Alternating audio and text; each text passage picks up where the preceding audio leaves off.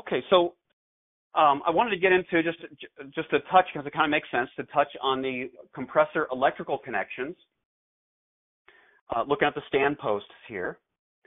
So there's going to be three of these stand posts here on a split phase compressor. Interestingly, because these cases are like mass produced, you're also going to find the exact same three stand posts used on a linear compressor. But a linear compressor has only one winding. It doesn't have two windings. There are two windings in a split phase compressor that we talked about earlier, right? Main and, and start. Uh, the linear compressor only has one winding, so only two of these posts will be used in a linear compressor. The third one is just dead-ended. It's they're just using the case, same case. Don't let that fool you.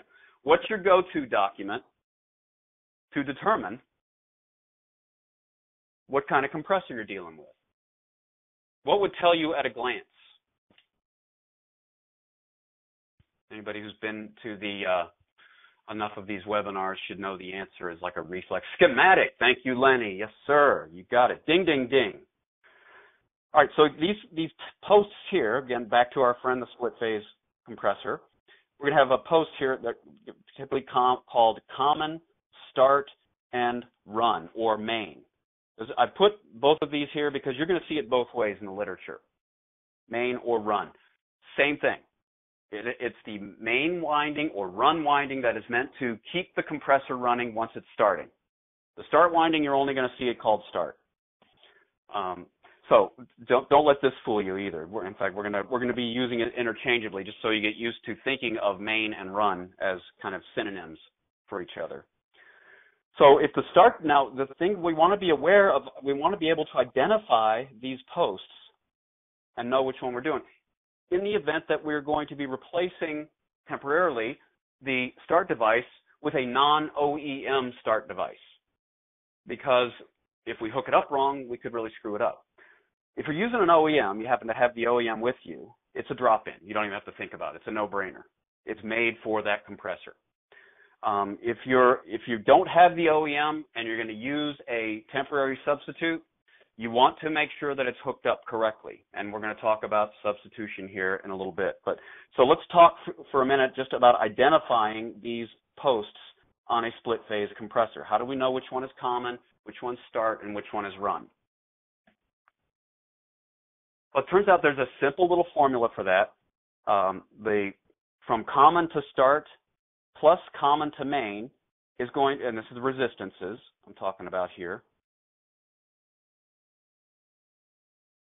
You add up these two resistances, it will always add up to from main to start.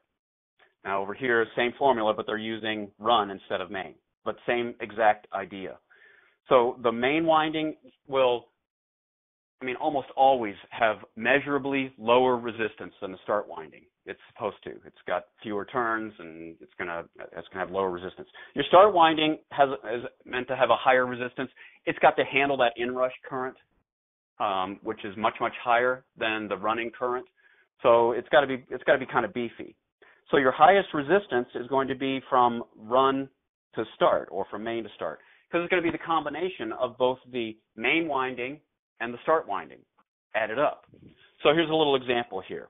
And so knowing just knowing that your main winding is always going to have the lowest resistance and your start winding will ha- will have a resistance that's higher than the main winding and the highest resistance will be the combination of the two. So just knowing that, you can usually just eyeball it. Once you get your three measurements, like looking over here, you take these three measurements here. Anybody venture to care to guess which? Uh, so we've got X, Y, and Z. X, Y, and Z. And we've got three different sets of resistance measurements. On this image here, which one is our start winding? You can usually tell just by eyeballing it, knowing that your start winding is the so x to z. What's x to z going to be? Would it be y to z? Which one? Which one's going to be the start winding? All right. So Grant thinks start winding is from y to z. Everybody agree? I agree. I think that's that's going to start. So this will be my main winding. And the combination of the two, measuring across here, that's going to be my common. So, um, so I know that from knowing then that I have, so what I've really got going on here, I've got a winding here, which I'm not really drawing as a winding, but winding to here. All right. So which one is common?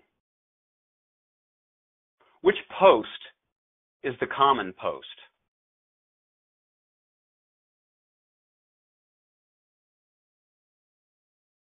Y. Yep. Y is common.